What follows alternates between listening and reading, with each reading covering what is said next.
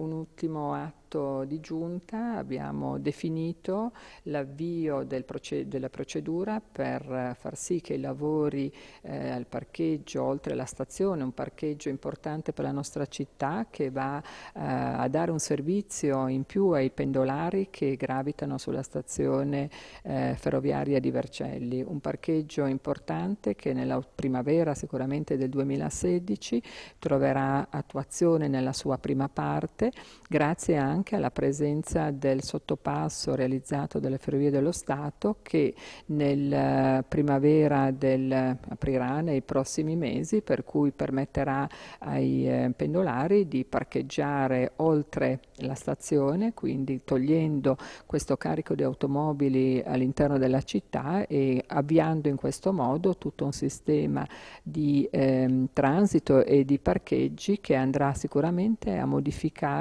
quello che è l'assetto attuale.